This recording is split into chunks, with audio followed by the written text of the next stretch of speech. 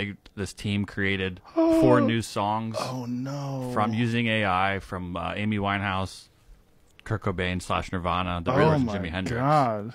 Did you listen to them?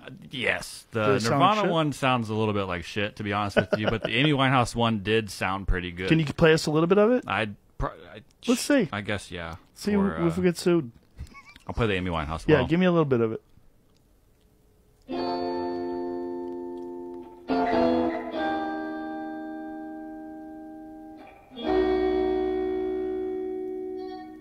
Well, you know, I got no idea. Holy I got shit! nothing pretty good, to right? say. It's all wrong.